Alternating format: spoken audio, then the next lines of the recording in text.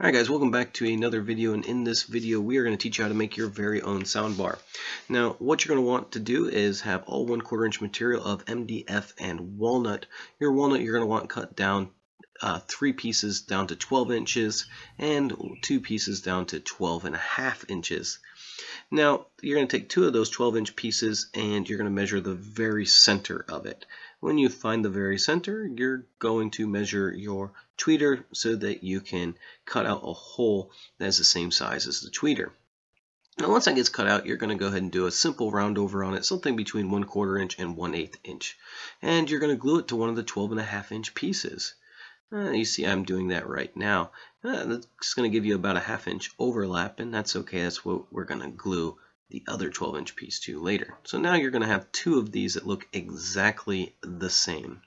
Now after that dries, we're going to go ahead and cut out the woofers, and that's going to go through both the pieces of wood that were just glued together. Alright guys, next thing to do is to cut out the back of where the tweeter is going to go. Now you're going to notice that I did not cut out the woofers first on this particular one that I'm showing you. You can cut the woofers out first or second, it really doesn't matter. Um, but what I use is I use the cutout that I took from the tweeter and that's how I find the direct center. I put it right back in and mark the hole. And I'm going to drill out a hole. Now when I when I cut out this hole right here, I am actually going to cut it out bigger than the back of the tweeter. And the reason why I do that is so that it gives me some maneuverability and a little bit of wiggle room just in case I don't cut it directly center. And we're just going to test fit that and that looks really nice. And so we're going to go ahead and round over all of the woofers, which I did not get video of, but you'll round those over with about a 3 8 inch round over bit.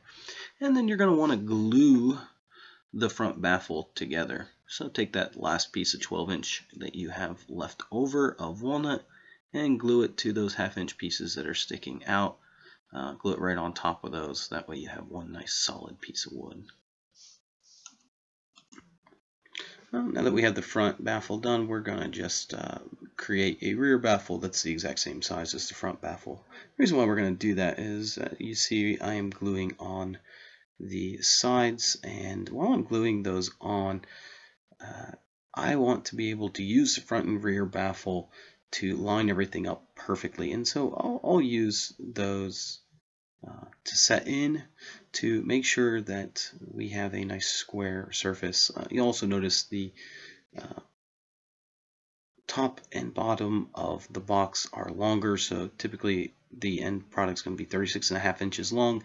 This is closer to 37 and a half inches long, and that's just so I can make sure that I have everything perfectly square. It helps me get a much better box, and, and then I'll flush trim those other pieces off later.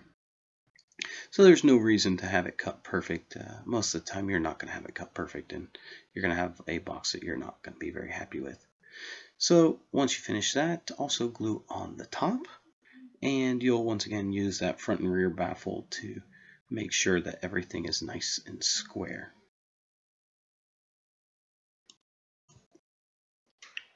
Alright guys, so now we're going to go ahead and flush trim the box. Uh, just put a flush trim router bit on there and run it over and you should have a nice very solid square box when you're finished. Now it's time to create the boxes. We're basically going to have a speaker box on either side of the soundbar with the middle part uh, able to housing the crossover components and of course the amplifier if you choose to amplify this internally. Uh, what you're going to want to do is use the front baffle as a guide. So put the front baffle in and where it sticks out a little bit higher, which is a half inch, we're going to glue um, some pieces on either side of that so that we seal that box nice and even. Now this should be a quarter inch from the edge of the box so that the rear of the baffle can still fit in. We're also going to want to glue one right next to it.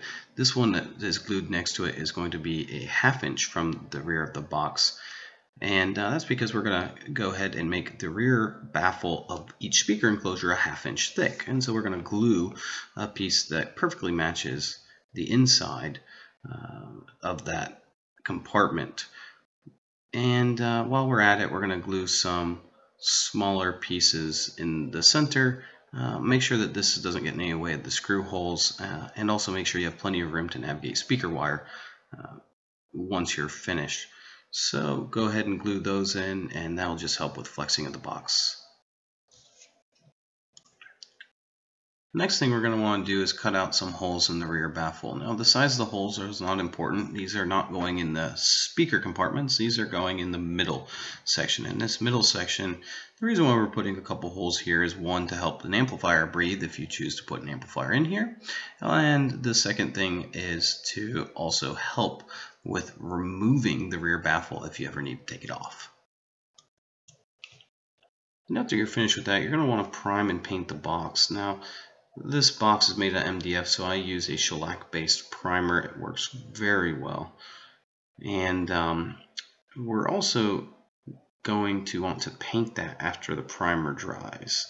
Now, um, you can paint that with whatever you want. Now, I will tell you that the shellac-based primer works a lot better than just a paint and primer in one. So I would do that first and then paint it with whatever you want to paint it with. At this time, you're also going to want to finish your front baffle. Now, finish this with whatever type of finish you like, so whether that be stain or sealer of some kind. Now it's finally time to install the speakers. In order to install the speakers, we're first going to need to mount them to the baffle. Now the woofers themselves are going to be rear mounted, and that can be sometimes problematic as far as lining them up properly. What I've learned is to take a little bit of masking tape and tape it to the woofer once you have it aligned. That way when you flip it back over to drill your holes and screw your screws in, your woofer's in the same place it was previously. And that helps installation quite a bit. Now with the tweeter, it's not as hard because you can line it up from above wall while looking at it.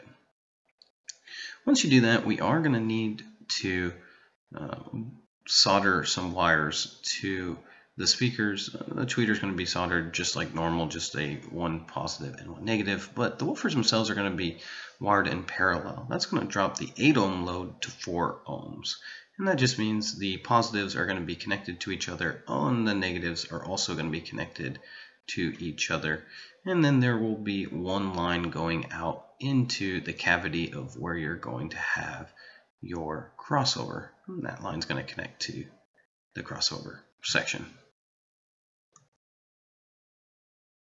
DIY soundbar, the only thing we have left to do is to glue on the front baffle. When we glue this on, we need to make sure that the glue doesn't seep out of the front or onto the wood that we just did. Now, just go along with a dry or damp cloth to clean up any glue that may have seeped out. Uh, let that dry, and once that dries, just screw on the rear baffle. And once that's screwed on, hook up an amplifier to it. Now this can be either an internal or external amplifier. If you want it to be internal, just run it inside before you put the rear baffle on. If you're going to do external, just pick up any external amplifier and you are good to go. Now guys, you can pick up all these parts to create this right down from Parts Express. Uh, just follow the description in the link below to create this. I hope you enjoyed, and if you did, please give it a like, and as always, subscribe and share it with your friends. Thank you. Counting double digit thousands.